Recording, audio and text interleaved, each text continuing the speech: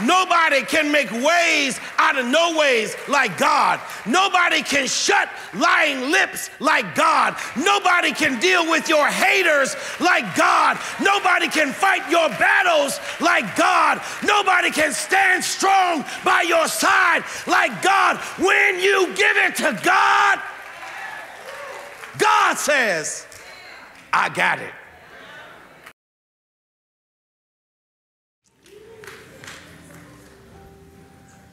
As we prepare heart and mind to receive the Word of God, that prayerfully takes hold of us and controls our daily living, I would that you take a moment to bow and be in prayer with me.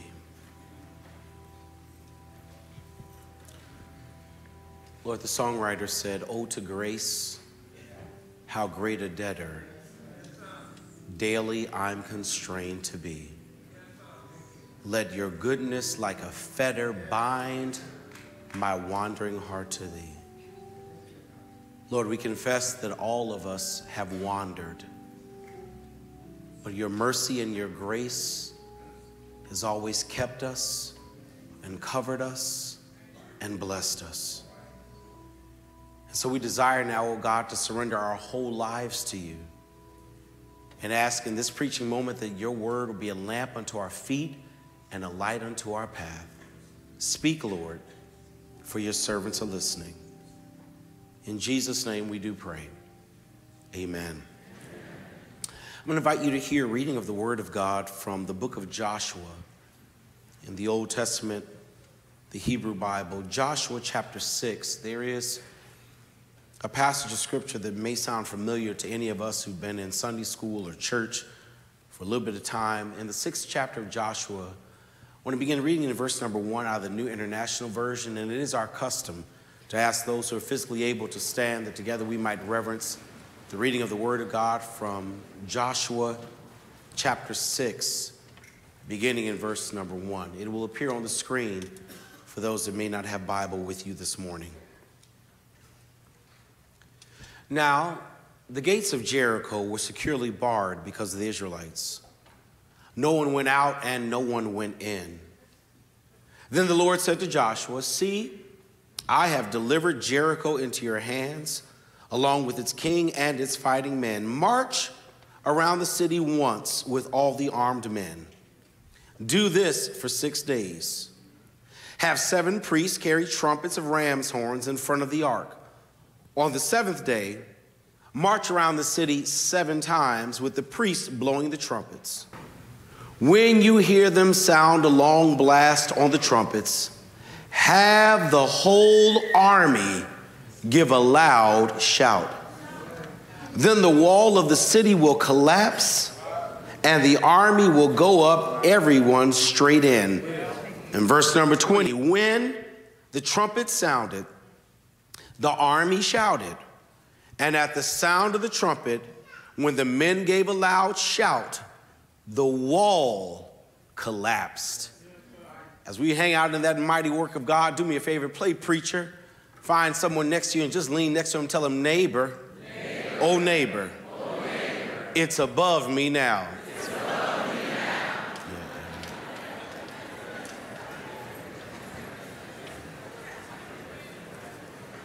It's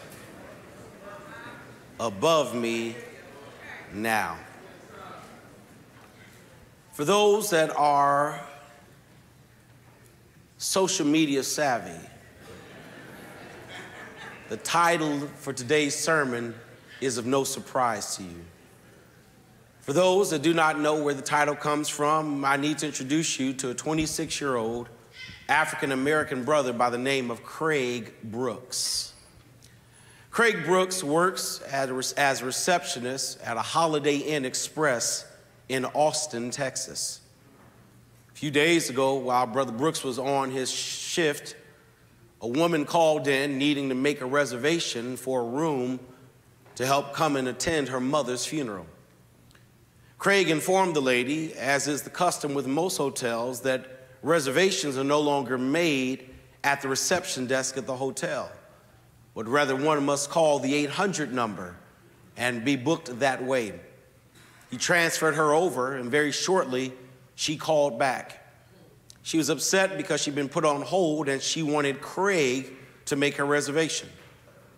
Mr. Brooks informed her once again that I'm not the one who makes the reservation. Let me kindly transfer you over to the 800 number. He did. And shortly after, she called back again. This third time, she was angry, irate, and hostile. Craig Brooks recognized that this woman was angry, irate, and hostile, and he said to her, You know what? I'll take your information, I'll call the 800 number, I'll try to make the reservation, but I need you to calm down. The woman, upset that Craig Brooks had the audacity to tell her to calm down, while she was speaking to her husband, not realizing that she had yet to hang up the phone, she said and referred to Craig Brooks in a vulgar slang term that should not ever be uttered. She referred to him as a F word, N word. I'll let you fill in the blanks. I'm preaching, I can't quote it directly. But this woman on the phone called Craig Brooks an F word N word and hung up the phone. Craig Brooks immediately called corporate headquarters at Holiday Inn Express to share with them what had happened. And Holiday Inn said, We have a zero tolerance for racism, and you are well within your rights to deny her reservation. The woman, not content that she couldn't get a reservation, a few moments later showed up at the hotel, brought her daughter and husband with her. Craig Brooks was there at the desk, decided to pull out his phone and film what was about to go down.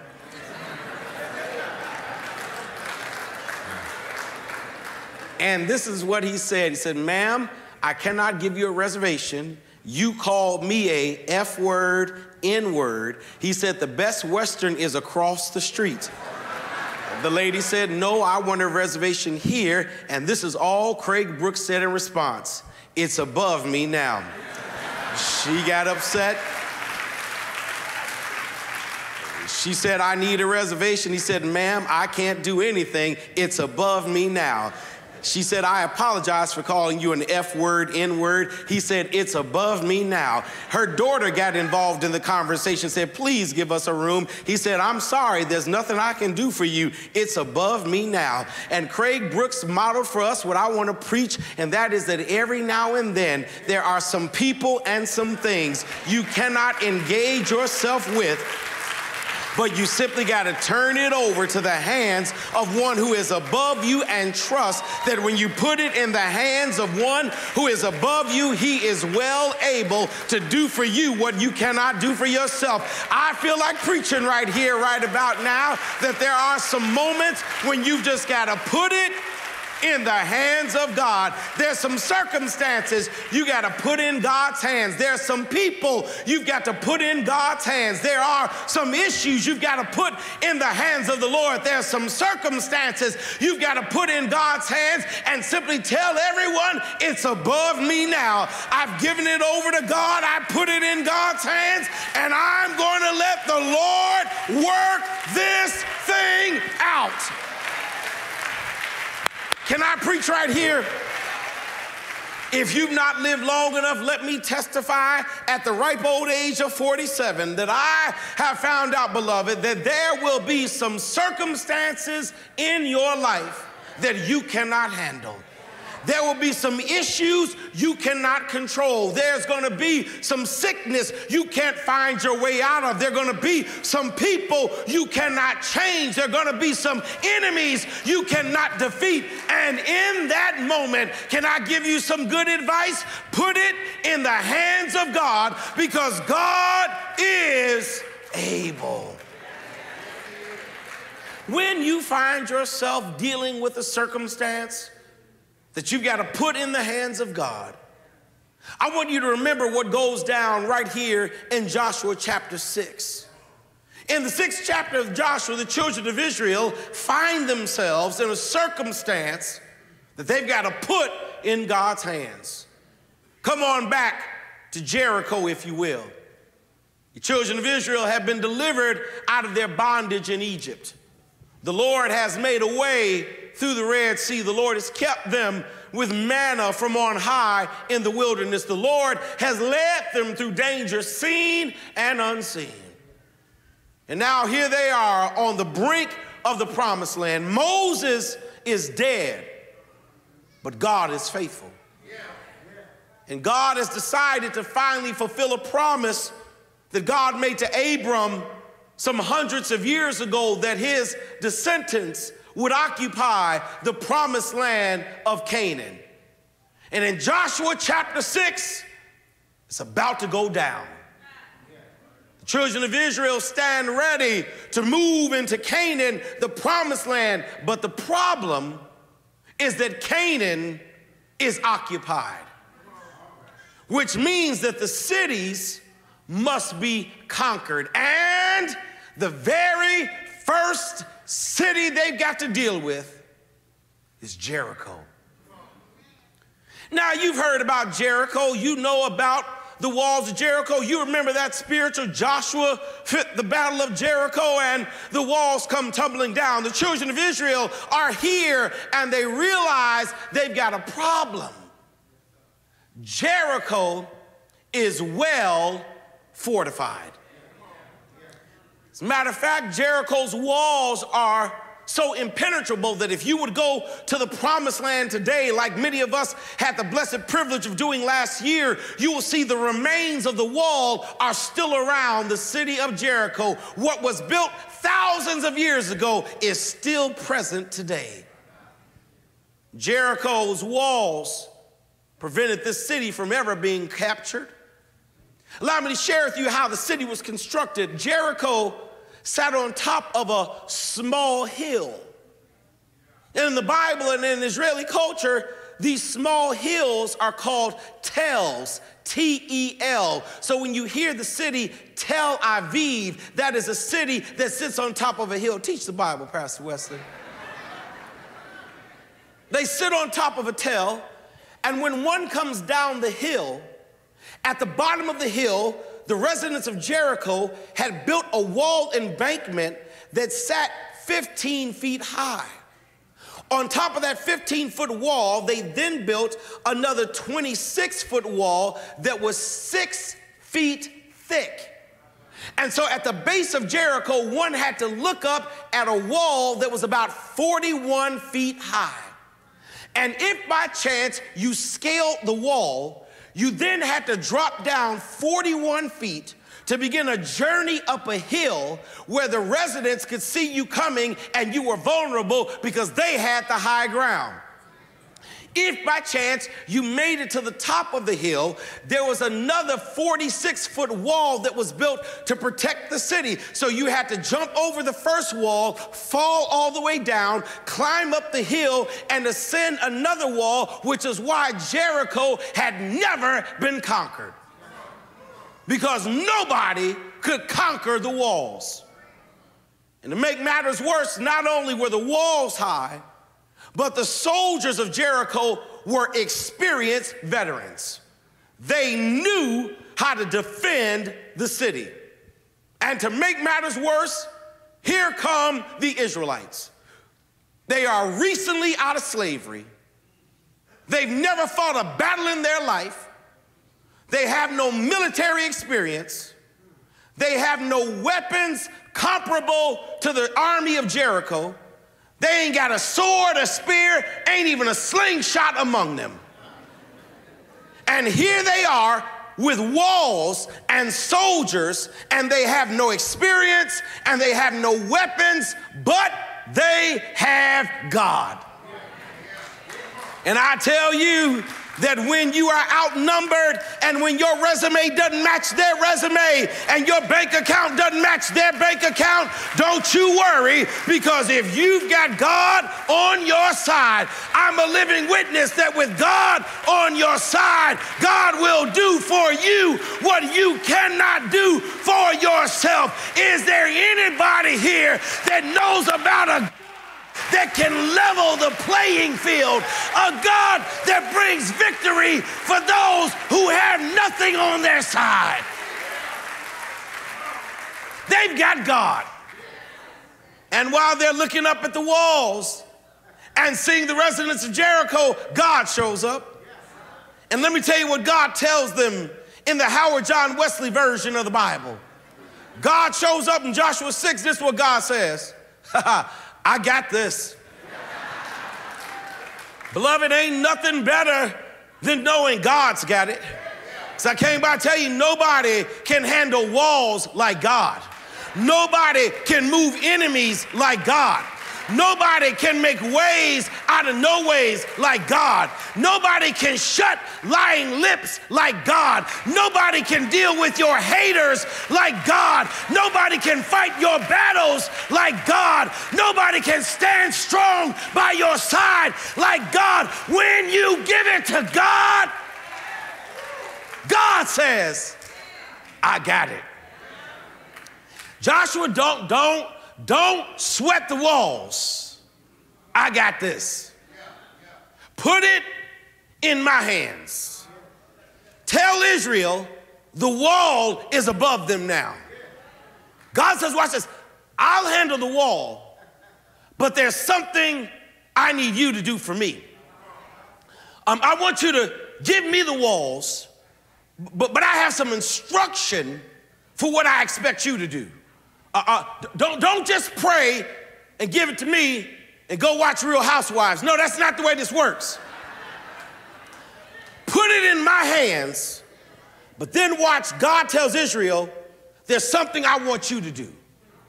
Watch what the Lord says three instructions. God says, after you give it to me, I want you to march around the walls of Jericho.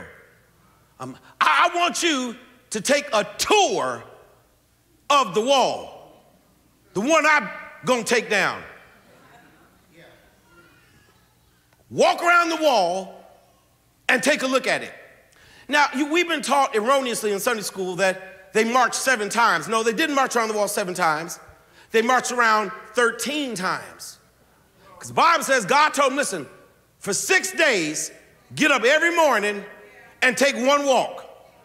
On the seventh day, go around seven times. Now, in case you're mathematically slow, six plus seven is 13. Brother LC, the Lord says, watch this, walk around the wall 13 times. Now, why in the world would God tell Israel, walk around the wall 13 times? Well, one scholar suggests it's for reconnaissance, that, that they're preparing for a military invasion. And so they're taking 13 trips so they can see what they're really standing against. And, and although that sounds smart, it really doesn't make sense because it seems to me that after the first walk, they knew everything they need to know.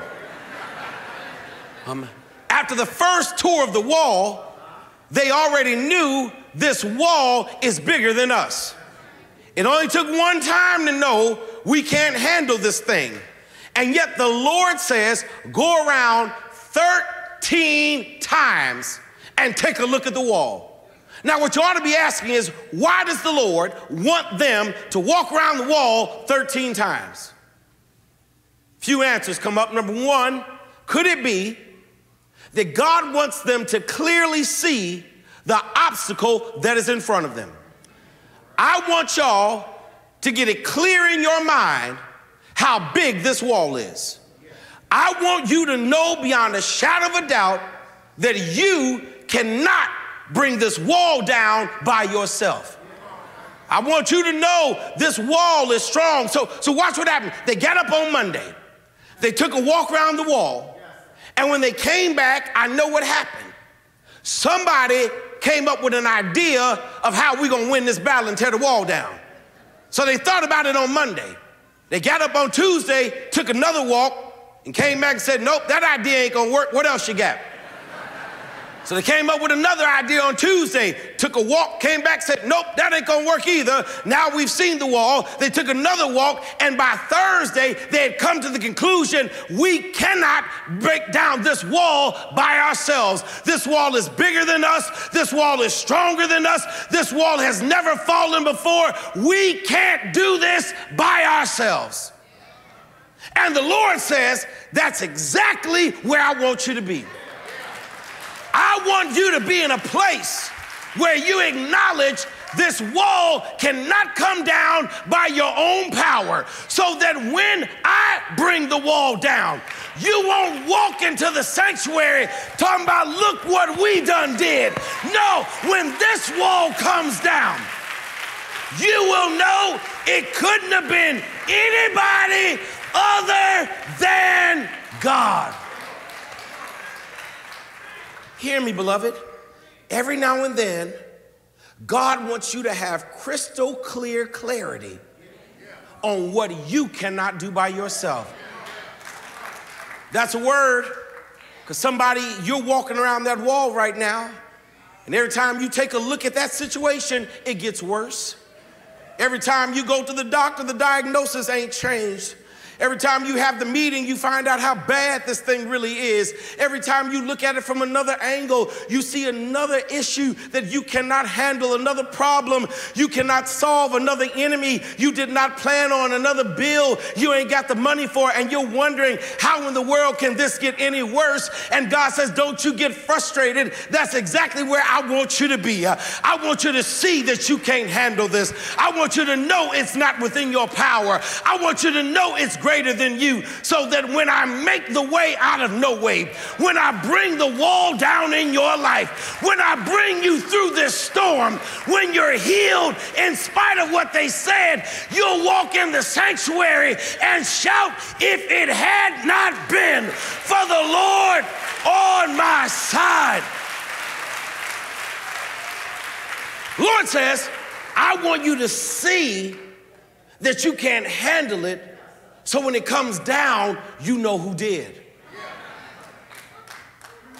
You didn't make it because of your resume.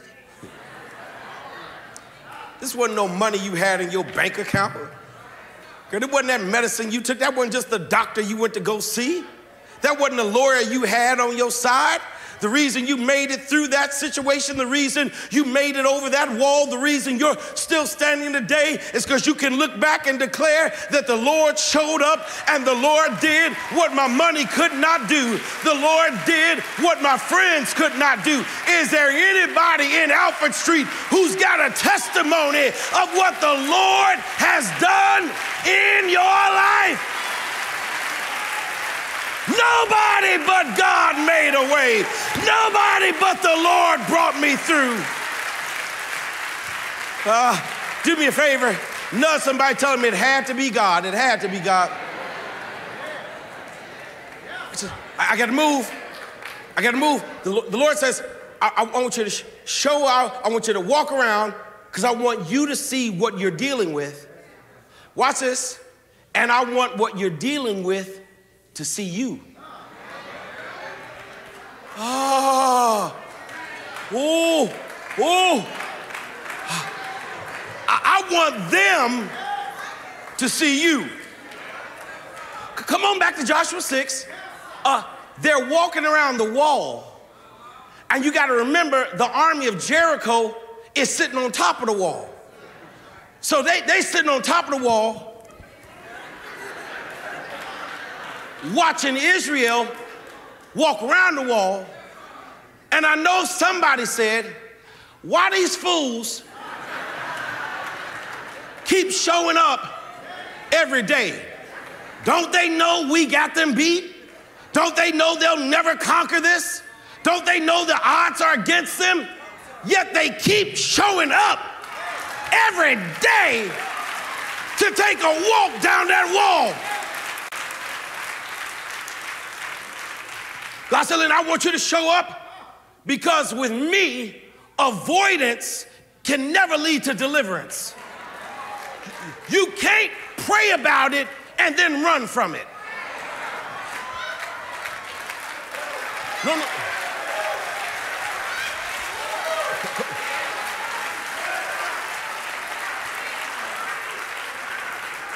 Lord says, You can't put it in my hands and then disappear that one of the signs you trust God is that when you give it to God, you show up at the thing anyway.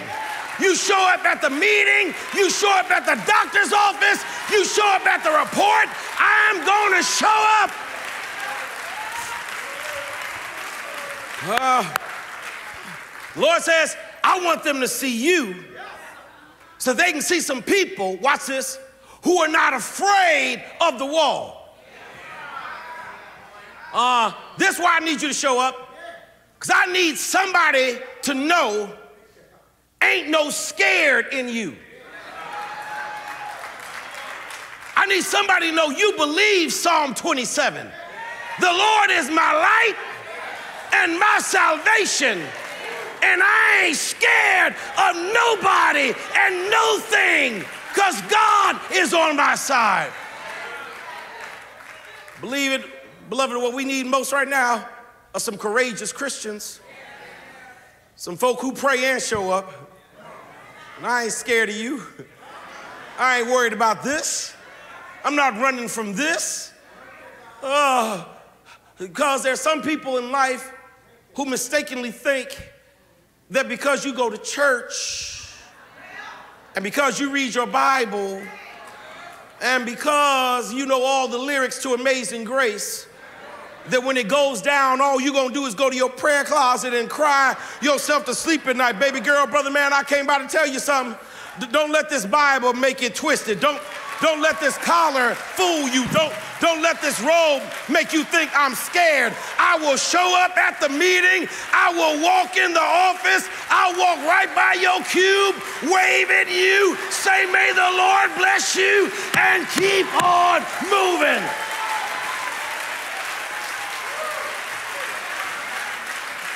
Would you touch somebody and tell them you got to show up? Oh, oh, Lord says, listen, show up. I want you to see it, and I want it to see you. So watch this. You're not gonna like point two. He says, show up and shut up. ah, it's in the Bible. Listen, I want you to walk. But Marcia, I don't want you to say a word. Six days, walk around and watch your mouth. It's almost like the Lord saying, Your problem is you.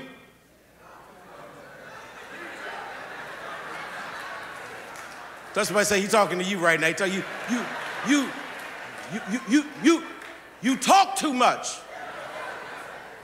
One sign of immaturity is you're always running your mouth. So the Lord said, listen, take a walk. Ah, don't say a word. Now, now I, I, had to, I had to wonder. I was wrestling with this thing, Dean. I was wondering why, why would the Lord tell them to walk but don't say anything? Um, well, I, I couldn't understand. I was reading in the Bible and I couldn't understand why the Lord said don't talk until I remembered that they just like y'all. Um, and, and, and if they are just like y'all, um, then I know what happened. I know, I know what happened um, because every time they took a walk, somebody had something to say. Cause you, you know how you know how they are. Every time I take a walk, someone gotta come back. We ain't never gonna get that done. Somebody ran their mouth, girl. I don't know. Uh, they must be crazy. Lord didn't tell us to take down this wall. Who led us over here? This this this can't be the way the Lord. What in the world? Who who voted on that? Uh,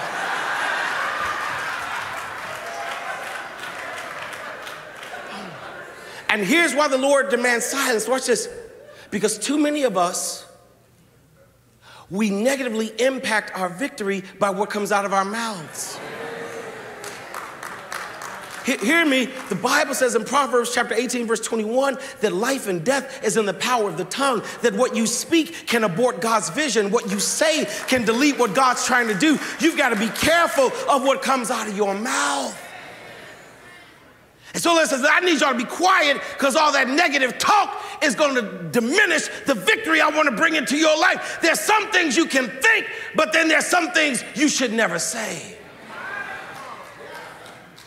You can think it's impossible, but you ought to say, with God, nothing is impossible. You can think it will never end, but you ought to say, weeping only endures for a night and joy comes in the morning. You may think that they've got you outnumbered, but you ought to say, greater is he that is in me than he that is in the world. Watch your mouth. Stop killing your own victory with your words. And listen, the next time you're tempted to complain, the next time you're tempted to say something negative, the next time you're tempted to say what can't be, here's all you got to do it's above me now. Because listen, you can't give something to God and then keep talking about what ain't gonna happen. You, you, you can't put it in God's hands and say what will never be. You can't say you trust God and are always talking negative about what God's called you to do. The Lord says, show up and shut up. So I want you to come and walk. I want you to be quiet. And then I like this last one. Marcy says, now, you do that for six days. But on the seventh day, I want you to do something different. He says, what you on the seventh day? On the seventh day, um, I want you to line up. Um, I want you to get the trumpets and I want you to march around seven times. And, and, and I want the trumpet players to play while they're walking. Um, and on the seventh time, have them get out a loud blast. Um, and when the loud blast comes, Joshua tell the people, I want everybody to shout. Uh, I, I, want everybody to open their mouth uh, and bless me right there. I, I, want everyone to open their mouths and give thanks right there. I, I want everybody to open their mouths and, and praise the Lord in that place. I want everybody to make a shout at the wall. Well, well, no, Latasha, I'm sorry, that's not what he said. The Lord said, Tell the army to shout. Stay with me. The Lord says, Joshua, tell the army to shout. Not the Levites, not the priests, not the liturgical dancers, not the choir, not the preacher, the army.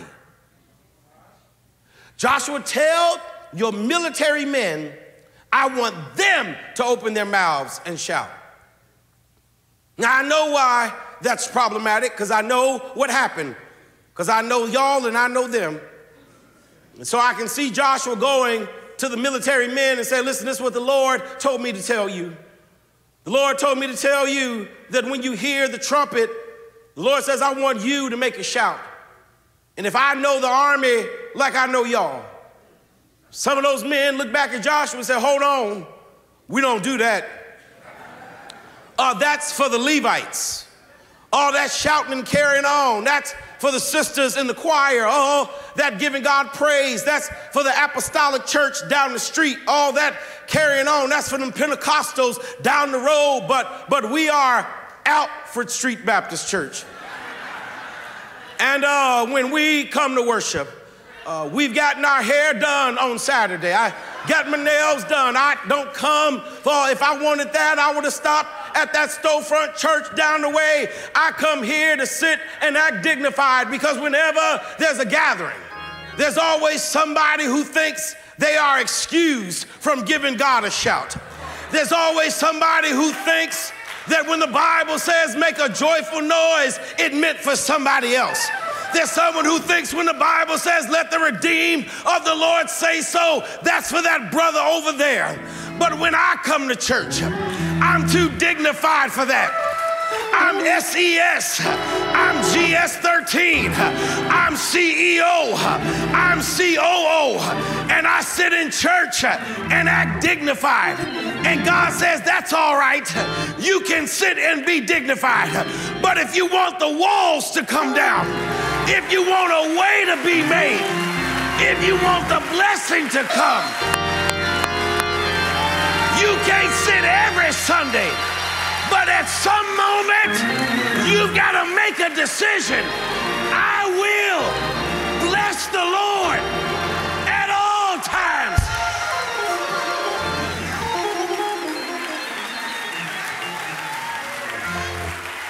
I got to go. It's almost our power. But can I give you the real shout? The Lord says, I want the army to shout. And watch this, I want them to do it before the wall comes down. There's some folk that can praise God after the wall is down. But then there's some folk that know that God is so good and God is so worthy and God is so strong that I can praise him with the wall in front. Can bless him while I'm still sick. I can shout while I'm still broke. Is there anybody here that can shout with the wall? So I gotta go.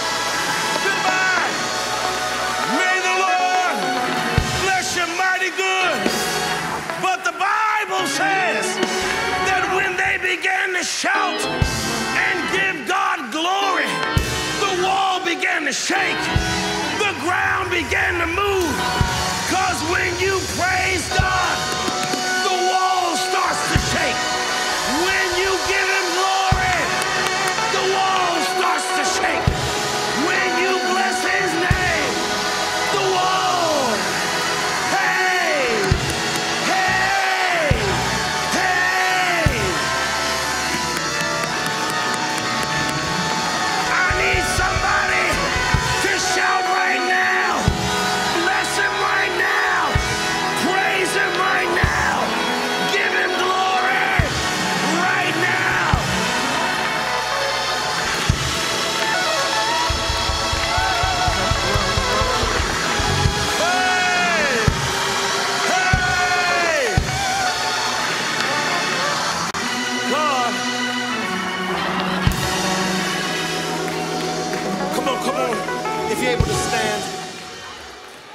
your, your praise literally activates God's promise.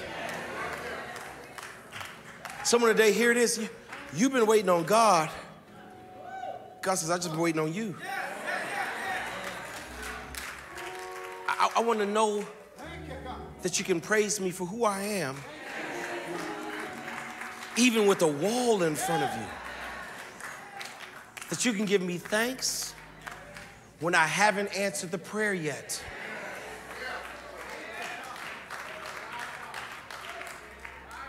That God is such a fulfiller of his promise. Watch this, I'm done. The Lord told Joshua, take a look around the wall, and before the wall came down, this is what God said I've already given it to you. Now I need you to trust that even though you see the wall, that's in my hands. I got that. I need to know can you bless me even when I haven't taken it down? Lord, I thank you that, that it's above me now.